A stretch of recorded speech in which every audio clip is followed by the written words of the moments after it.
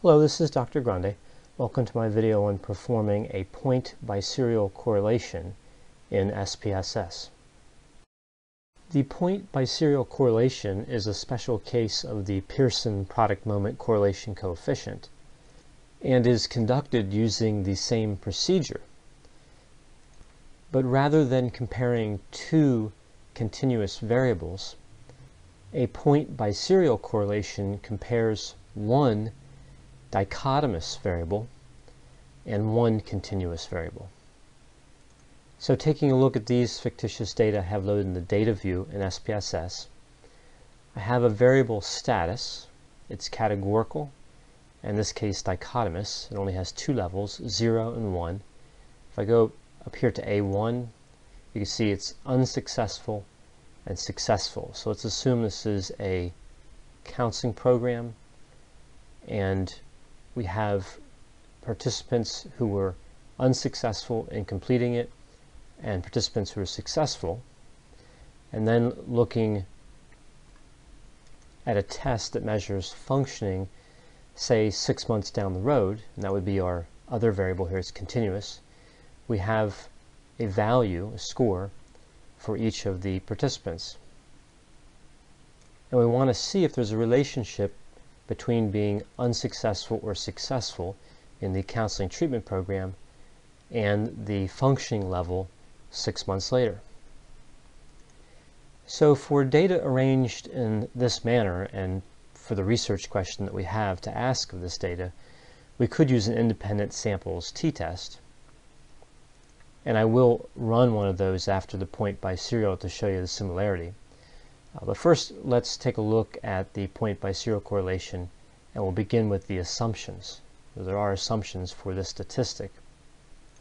As I mentioned, you do need to have a dichotomous variable and a continuous variable, and we have one dichotomous variable, one continuous variable.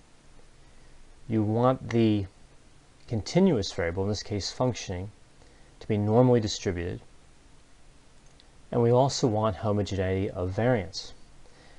Now the Levene's test will not automatically run as part of independent samples t-test or a point biserial correlation, but we can run it as part of ANOVA.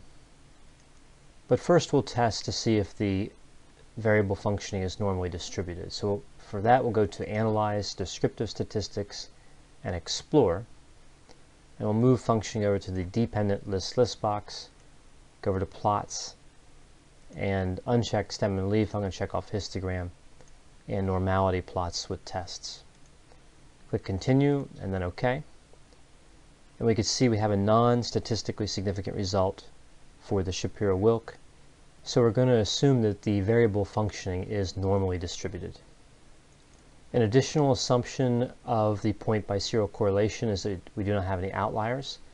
And we can check that from the same output by going to the box plot for functioning. And we can see there's no values below the bottom whisker or above the top whisker here.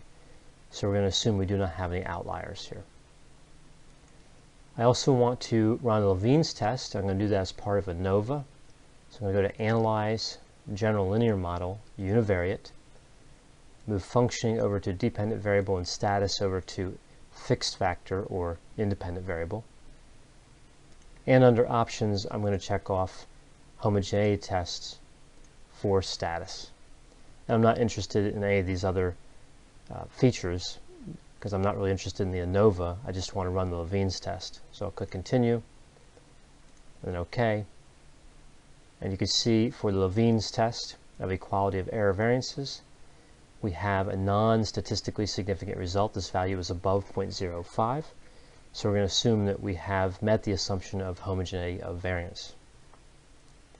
So now to conduct the point biserial correlation, I'm going to go into Analyze, Correlation bivariate, and you can see I have the status and functioning variables here on the left. I'm just going to move them both over to the right in the variables list box.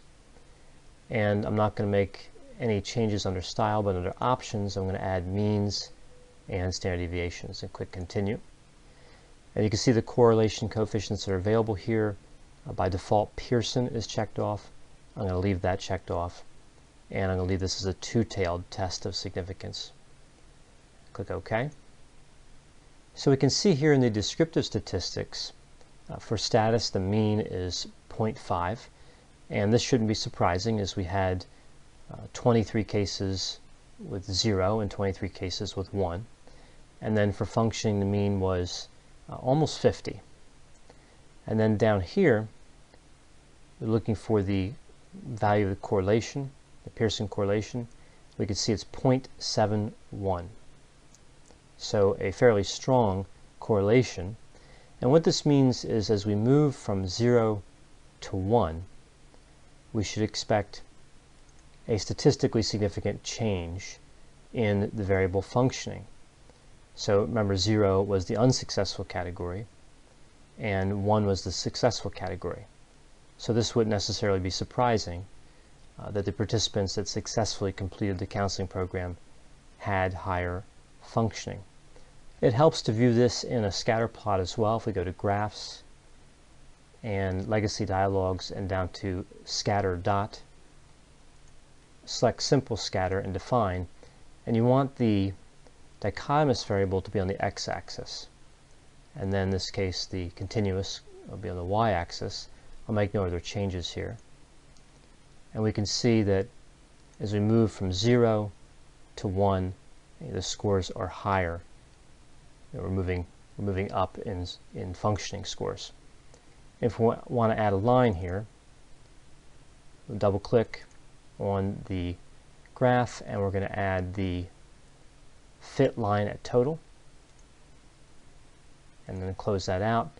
And you can see the uh, y equals mx plus b. So here, here's y. And the slope is here next to x. And this would be the y-intercept here.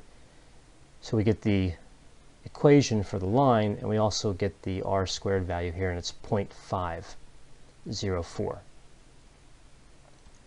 so keep this value in mind the 9.52 because uh, now as I run an independent samples t-test, I'm going to show you the similarity. Go to compare means, independent samples t-test. Status will be the grouping variable, functioning the test variable. No changes under options, and we're going to need to define the groups for status. Group 1 will be 0, and group 2 will be 1.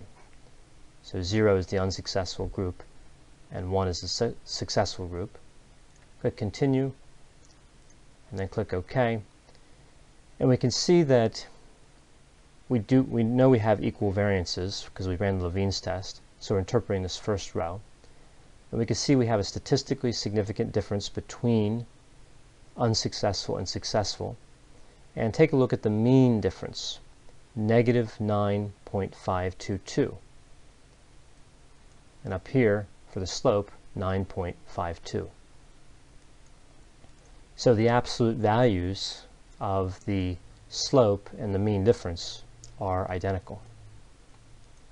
So when running statistics and attempting to answer the research question we had of the data, uh, in this case, a point biserial correlation or an independent samples t-test would both be valid statistics uh, to answer that question. I hope you found this video on conducting a point biserial correlation in SPSS to be useful. As always, if you have any questions or concerns, feel free to contact me. I'll be happy to assist you.